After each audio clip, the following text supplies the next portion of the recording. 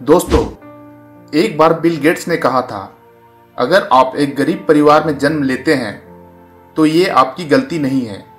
लेकिन अगर आप गरीब रहते हुए ही इस दुनिया को छोड़कर चले जाते हो तो ये सिर्फ़ और सिर्फ़ आपकी गलती है। उनकी इस बातों में एक ही संदेश छिपा हुआ है, और वो है, अपने आप को मेहनत करने के लिए हमेशा प्रोत्साहित करो, अपनी काबिलियत को जितना हो सके और निखारो, और जब भी आपको मौका मिले अपने आप को साबित करने का तो उस मौके को कभी मत गंवाओ। क्रिकेट की दुनिया में भी कई ऐसे खिलाड़ी हुए हैं जिसने बहुत ही गरीब परिवार में जन्म लिया, लेकिन आगे चलकर वो एक महान खिलाड़ी बने और आज दुनिया उन्हें सलाम करती है।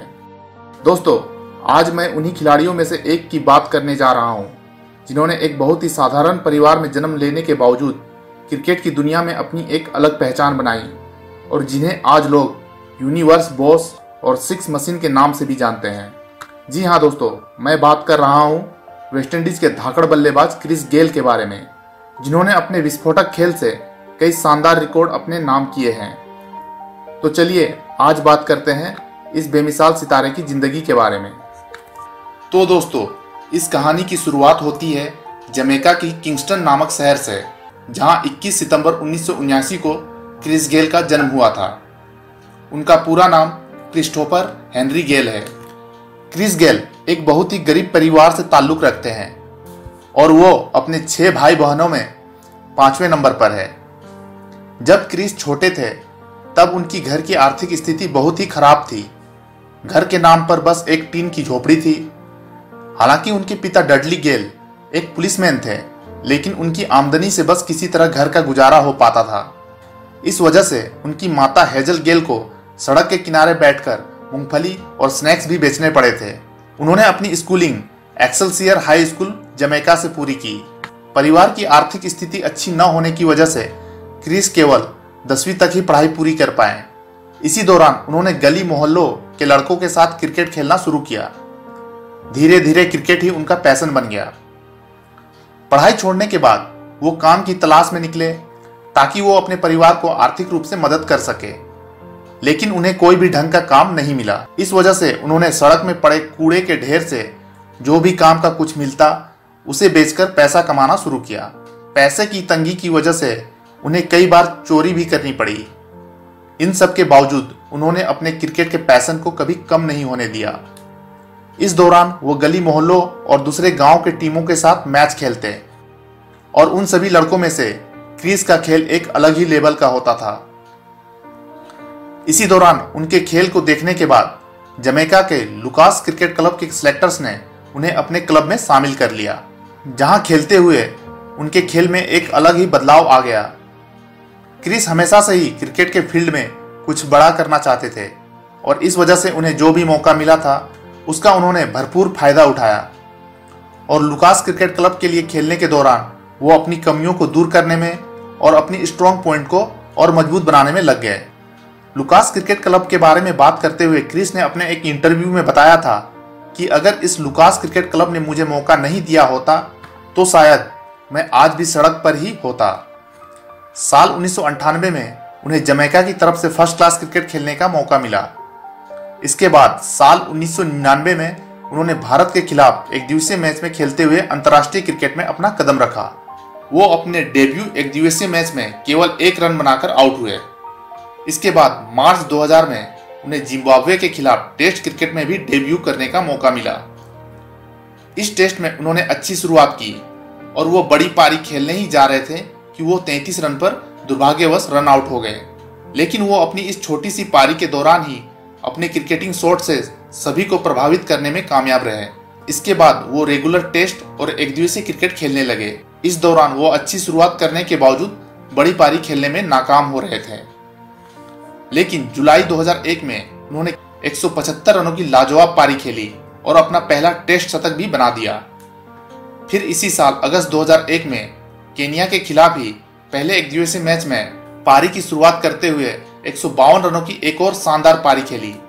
ये उनका एक दिवसीय क्रिकेट में भी पहला शतक था। इस तरह उन्होंने अपने रन के सूखे को भी खत्म किया। इसके बाद वो टेस्ट और एक दिवसीय क्रिकेट दोनों में ही टीम के रेगुलर सदस्य बन गए। इसके अलावा, उन्हें दोनों ही फॉर्मेट में सलामी बल्लेबाज की भूमिका भी सौंप दी गई। इस दौरान उन्होंने अपने शानदार फॉर्म को बरकरार रखते हुए कई मैच जिताऊ पारियाँ खेली। साल 2002 में उन्होंने न्यूजीलैंड के खिलाफ दूसरे टेस्ट में 204 रनों की एक और शानदार पारी खेली और टेस्ट क्रिकेट में अपना पहला दोहरा शतक भी बना दिया।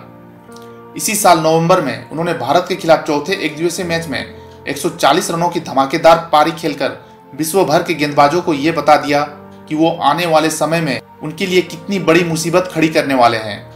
इसी साल के अंत में वो एक दिवसीय क्रिकेट में एक रन बनाकर एक कैलेंडर ईयर में 1000 रन पूरे करने वाले वेस्टइंडीज की तरफ़ से सर विवियन रिचर्ड्स और ब्रायन लारा के बाद तीसरे बल्लेबाज भी बने। वो साल 2003 के वर्ल्ड कप खेलने वाली टीम में भी थे। हालाँकि वो अपने पहले वर्ल्ड कप में कुछ खास नहीं कर पाए।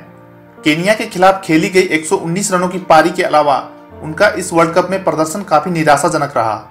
उनके खराब प्रदर्शन का ही नतीजा था कि वेस्टइंडीज टीम सुपर सिक्स के लिए भी क्वालिफाई नहीं कर पाई। साल 2005 में उन्होंने साउथ अफ्रीका के खिलाफ चौथे टेस्ट में 317 रनों की बेमिसाल पारी खेलकर अपनी काबिलियत को एक बार फिर साबित किया। अभी उनके लाइफ में सब कुछ ठीक चल रहा था कि तभी अचानक एक समस्या आ गई।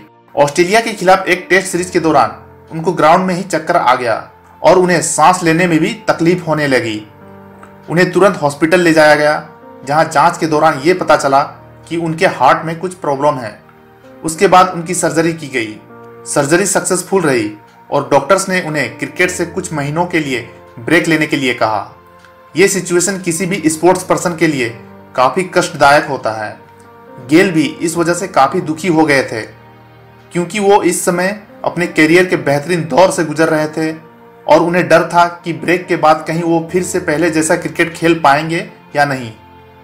लेकिन जब वो रिकवरी के बाद ग्राउंड में वापस लौटे तो दुनिया ने एक नए क्रिस गेल को देखा। ये वो क्रिस गेल नहीं थे, जो अपनी पारी को संभालने में वक्त लेते थे, बल्कि ये क्रिस गेल पहले से कहीं ज़्यादा मज़बूत और ताकतवर था, जो अब आते ही गेंदबाजों पर हावी होने लगा था।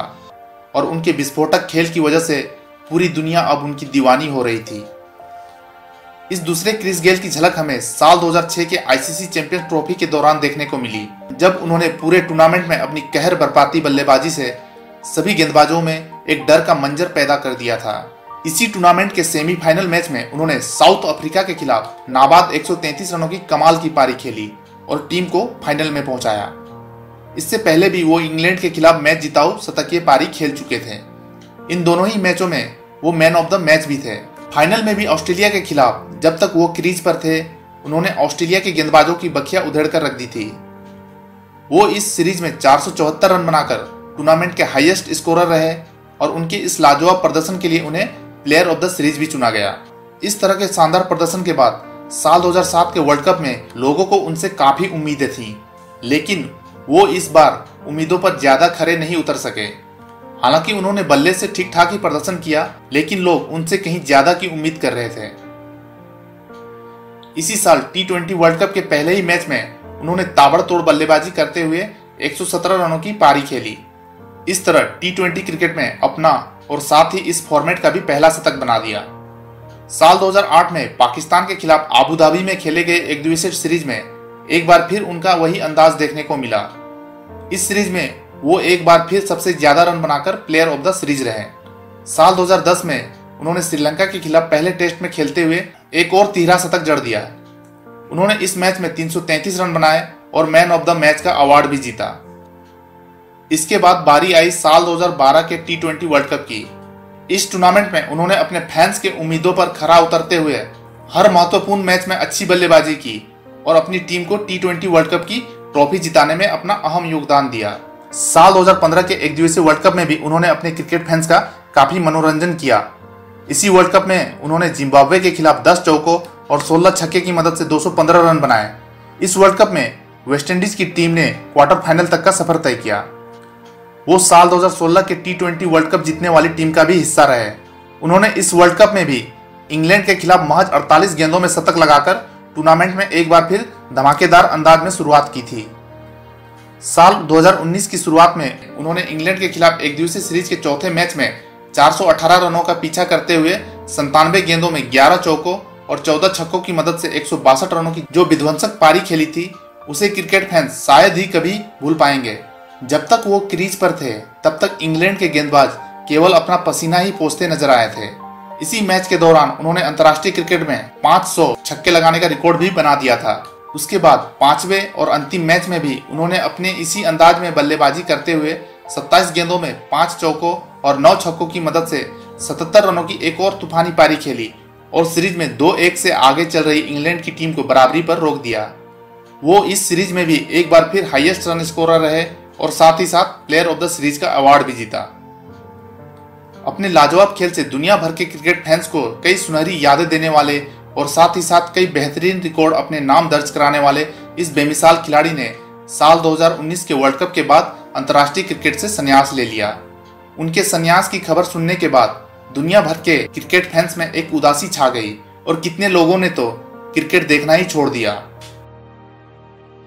उन्होंने अब तक के अंतर्राष्ट्रीय करियर के दौरान 103 टेस्ट मैचों में बयालीस की औसत से 15 शतकों और 22 अर्धशतकों की मदद से 7,215 रन बनाए हैं जिसमें उनका हाईएस्ट स्कोर 333 रन है।